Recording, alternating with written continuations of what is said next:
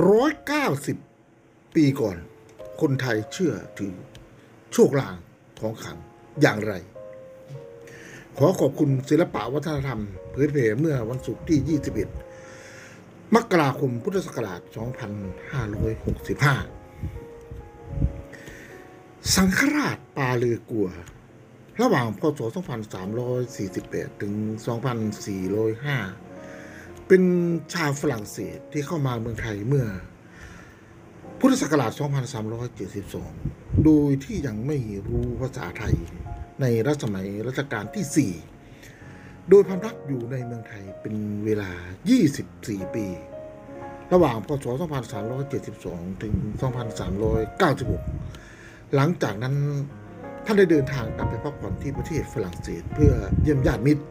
และได้เขียนหนังสือเกี่ยวกับเมืองไทยขึ้นในพศ 2397 ต่อมาคุณสันทอโกมลบุตรได้แปลจากภาษาฝรั่งเศสเป็นภาษาไทย ให้ชื่อว่า เล่าเรื่องเมืองไทย บทความหนึ่งในหนังสือดังกล่าวชื่อ การถือโชคลางซึ่งกล่าวถึงพิธีกรรมคติความเชื่อต่างๆ ที่อยู่ในวิถีชีวิตของคนไทยเมื่อ 190กว่าปีที่แล้วไว้ดังนี้นะครับ การถือโชคลางของขังในประเทศสยามนั้นมีได้เนื่องมาจากพุทธศาสนา เหตุด้วยพระพุทธเจ้า ได้ทรงห้ามพุทธบริษัท ไม่ให้ปรึกษาหมอทำนายโชคชะตาอนาคตนะครับ เชื่อในลางและโดยทั่วไปแล้วไม่ให้กระทำการอย่างใด ๆ อันมีลักษณะเป็นการหลงเชื่องมงายนะครับ การรักษาความเชื่ออันไร้สาระ นี้อะไว้ในประเทศสยามนั้นนะสืบเนื่องมาจากประเทศจีน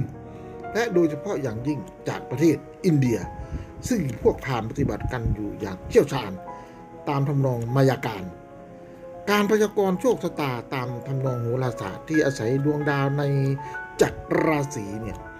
ข้าพเจ้าจะพัฒนาถึงความเชื่องมงายที่สำคัญสำคัญอันปฏิบัติในประเทศสยาม เมื่อ 190 ปีก่อนนะครับ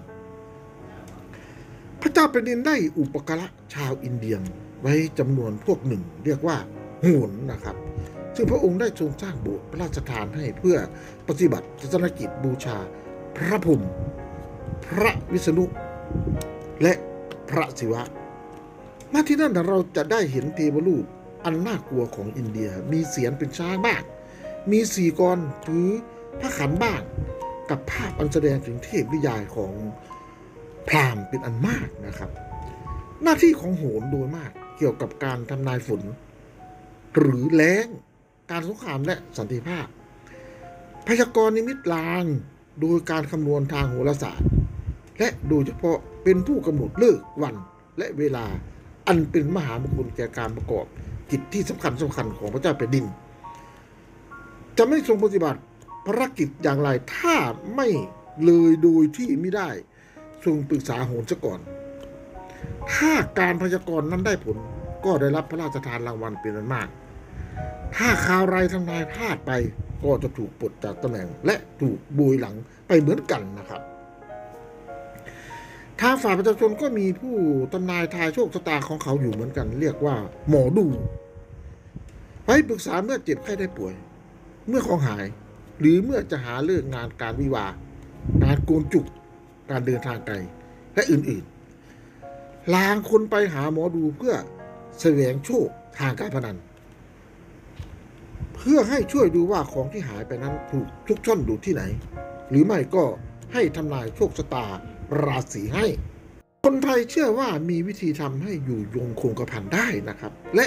มีไม่น้อยที่อวดว่าตนอยู่ยงคงกระพัน เล่ากันว่าลางคนสามารถทำให้ปลอดแข็งเป็นก้อนได้ แล้วหลอมทำเป็นเม็ดกลมๆนำไปติดกับตัว ใครจะฟันหรือยิงเอาก็ไม่เข้าทั้งนั้น เพราะฉะนั้น พวกขุนนางผู้ใหญ่และเจ้านายจึงแสวงโลหะชนิดนี้กันนัก พยายามทุ่มเททุกวิถีทางเพื่อซัดปลอดให้แข็งทำเป็นลูกกลมๆเหน็บไว้ในซองเข็มขัดเสมอลางคนก็ใช้ประคำเม็ดใหญ่ ทำด้วยไม้ที่หายาก หรือโลหะอย่างอื่น ที่เชื่อกันว่ามีสรรพคุณในทางอยู่ยงคงกระพันนะครับ เขายังมีเครื่องราง อยู่หลายชนิดที่ใช้ประดับตนนะครับ เพื่อป้องกันโรคภัยไข้เจ็บ เป็นลูกประคำทองคำหรือเงินร้อยไว้ด้วยได้เศษหรือเป็นตะกุดดอกเล็กๆทำด้วยแผ่นโลหะ ลงเลขยันและอักขระศักดิ์สิทธิ์ที่เชื่อกันว่าขลัง ส่วนผู้หญิงแทบทุกคน คล้องสร้อยสังวานทุบน้ำมนต์คนที่จนหน่อย ก็ใช้สายได้เศษถ้าผู้ใดเจ็บไข้มีอาการหนัก พ่อมดหมอผีจะปั้นรูปตุ๊กตาด้วยดินเหนียวนำไปในที่เปี่ยว แล้วพั่มสาธยายมนหรือสาบแช่ง เพื่อให้อาการเจ็บไข้ได้ป่วยของคนไข้ถ่ายไปสู่รูปปั้นนั้น แล้วก็นำไปฝังดิน ต่อจากนั้นก็ให้เป็นที่แน่ใจได้ว่าโรคภัยไข้เจ็บจะหายไปนะครับ เมื่อจะปลูกเรือนก็ต้องปรึกษาหมอดูก่อนว่า จะหันหน้าเรือนไปทางที่ไหน ประการที่สองต้องเลือกสถานที่ที่ไม่มีหลักต่อเสาเก่าๆตั้งอยู่ในดินนะครับ ด้วยเป็นนิมิตที่แสดงว่าจะไม่ได้รับความสุขถ้าปลูกค่อมลงที่ตรงนั้น ประการที่สามทุกสิ่งจะต้องเป็นจำนวนขี้โดยเฉพาะขั้นบันไดจำนวนประตูหน้าต่างและจำนวนห้องหับ เขาให้ห้องสังเกตไว้ด้วยว่า มิพึงใช้เสาไม้สัก ด้วยจะนำโรคร้ายมาสู่ ในบรรดาไม้เสาตะเคียนลางทีมีลางต้นตกน้ำมันสีดำๆเจ้าของบ้านจะรีบรื้อเรือนลง เพื่อเปลี่ยนเสาเสนียดนั้นเสียทันทีนะครับครอบครัวเป็นอันมากมีสารพระภูมิ ไว้ในเรือนหรือในสวนใกล้บ้านสารนี้มีลักษณะเป็นโบสถ์เล็กๆ จุดเทียนจุดธูปหอมบูชา มักจะพลุมพลัมไปด้วยสิ่งแก้บุญ เพราะมีอยู่บ่อยๆที่ผู้เจ็บไข้ได้ป่วย มาบนบานสารกล่าว กล่าวไว้ เช่นว่าจะถวายควายตัวหนึ่งช้างเชือกหนึ่งแก่พระภูมิเจ้าที่ หรือไม่ก็ลิเกสักโรงหนึ่งเมื่อหายเจ็บไข้แล้วก็เอาเบี้ยไปหาซื้อรูปปั้นด้วยดินทาสีตามสิ่งที่ตนได้บุญบานสารกล่าวไว้ไปถวาย จึงอาจแก้บุญได้ด้วยราคาถูกด้วยประการชนีนะครับ ถ้าหญิงคนใดแท้งลูก เขาจะเรียกหมอผีมานำเด็ก ตายคลอดนั้นลูกใส่หม้อดิน ถือไว้ในมือซ้าย ส่วนมือขวาถือดาบทันไปถึงสายน้ำก็พร่ำสารยายมนสาบลูกกรอกนั้นแล้วก็ฟันหม้ออย่างแรงโยนทิ้งน้ำไป หมอผีบางคนก็เลี้ยงลูกกรอกนั้นไว้ เรียกกันว่า เลี้ยงผี กล่าวกันว่าหมอผีเหล่านั้นใช้คาถาอาคมบันดาลสิ่งมหัศจรรย์ได้หลายประการ สามารถใช้ผีร้ายไปสิงในร่างกายของบุคคลที่ตนจะโก่อรำคาญให้ได้ ผีร้ายที่ส่งไปนั้นรู้จักกันในชื่อว่า กระสือ กระหัง และจักระเมื่อมันเข้าสิงอยู่ในร่างกายของมนุษย์แล้ว มันก็จะกินตัดปอดหัวใจ แล้วก็ถึงลำไส้บุคคลนั้น จะผ่ายผอมลงไปทันตาเห็นทันที ผอมแห้งลงไปทุกทีในที่สุดก็จะตายในไม่ช้านะครับ เมื่อก่อนนี้หมอผีอาจเศษหนังควายทั้งผืนย่อลงมาเหลือเท่าเมล็ดถั่วได้ เมื่อใส่ลงไปในอาหารของบุคคลที่ตนปรารถนาจะทำร้ายแล้วเนี่ยพอกืนลงไปเท่านั้น หนังก็จะบานอย่างน่ากลัวจนพุงของบุคคลที่บริโภคเข้าไปโดยไม่รู้ตัวนั้นแตกตายนะครับยังกล่าวกันอีกว่าหมอผีเหล่านี้สมคบกับพวกหัวขโมย มีวิธีการกระทำให้จังงังกันไปทั้งบ้านด้วยนะครับ สามารถขึ้นเรือนและลักทรัพย์สิน ซึ่งสิ่งของมีค่าไปได้โดยสะดวก เจ้าเรือนก็ได้ยินและเห็นหมดทุกอย่าง แต่ต้องอำนาจลึกลับสะกดไม่ให้กระดิกกระเดียดร้องขึ้นหรือทำการขัดขวางคนร้ายได้ มนต์สะกดนี้จะเสื่อม ก็ต่อเมื่อพวกคนร้าย ไปเสียริบลับแล้วนะครับกล่าวกันว่ายังมีหมอผีที่มีความเก่งกล้าสามารถประกอบยาเสน่ห์ได้อีกด้วยนะครับ ถ้าจะทำให้ผู้หญิงคนหนึ่งรักผู้ชายคนหนึ่ง หรือให้ผู้ชายคนหนึ่งปลูกสมัครรักใกล้ผู้หญิงคนหนึ่งแล้วใช้ ก็ใช้ยารางชนิดปนลงในอาหาร เครื่องบริโภคของบุคคลผู้นั้นคันแล้วบุคคลคนนั้นก็จะมีกิริยาดังเป็นบ้าไปทันที ยิ่งมีใครขัดขวางก็ยิ่งมีมานะใหญ่จนกระทั่งปรากฏอยู่เนืองๆว่า ไม่หวาดหวั่นต่อการเสื่อมเสียชื่อเสียงหรือโทษทันใดๆทั้งสิ้น ทั้งสองจะพากันหลบหนีไปเสพสุขโดยปลอดอุปสรรคในประเทศสยามมีการคลั่งหาขุนทรัพย์กันอยู่อย่างหนึ่ง โดยเฉพาะในวัดเก่าๆท่ามกลางสิ่งปรักหักพังของอยุธยานครร้างนะครับ คนที่มักมากมักจะกระทำการเสวเสาะแสวงประเภทนี้ โดยเข้าไปในสถานที่ที่ ตนเข้าใจว่ามีคุมทรัพย์ยังซ่อนอยู่ในเวลากลางคืน เมื่อจะเข้านอนก็กระทำพิธีบูชาด้วยดอกไม้ เทียนธูปหอมข้าวตอกแก่เจ้าที่เจ้าทางซะก่อน ขณะที่หลับอยู่นั้น ปีศาจจะมาจำแรงตนให้เห็นในฝันบอกว่า เอาหัวหมูหัวหนึ่งกับเหล้าลุงสองขวดมาให้ข้าสิแล้วข้าจะอนุญาตให้สู่เจ้าขุดเอาทรัพย์ไปได้ลางทีปีศาจจะแสดง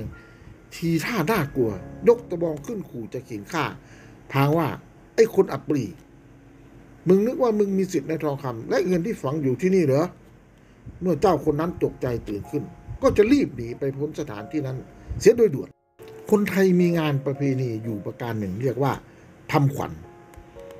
เป็นทำนองคล้ายการปลูกขวัญบุคคลในช่วงชีวิตระยะต่างๆ ที่ผ่านมา เช่นเมื่อจะโกนจุกเมื่อจะอุปสมบท เมื่อจะแต่งงาน หรือในพิธีราชาพิเศษเป็นต้น เป็นงานประเพณีที่เนื่องมาจากลัทธิของพราหมณ์กระทำการอึกกระลึกมากน้อย แล้วแต่กำลังทรัพย์และฐานะของบุคคลนะครับ ต่อไปนี้เป็นวิธีการที่กระทำกันในหมู่ชนชั้นสามัญคือเขาใช้กระดานหรือไม้ไผ่ก่อเป็นรูป แท่นซ้อนๆกันขึ้นไปเจ็ดชั้น แล้วปูราดทุกๆชั้นด้วยใบตองสด แต่ละชั้นวางรูปหน้าเทวดาและสัตว์ปั้นด้วยดินหรือกระดาษแข็ง ก็แล้วแต่บางทีก็เป็นตัวตุ๊กตาสลักด้วยฝีมือหยาบๆจากชิ้นฟักทองมีขนม ข้าว และถ้วยทองเหลือง หรือถ้วยกระเบื้องบรรจุอาหารข้าว ไข่และผลไม้ ที่ชั้นยอดประดับด้วยพวงมาลัย เหลื่อม และกระดาษทองกระดาษเงิน วางถ้วยใบใหญ่กับมะพร้าวอ่อน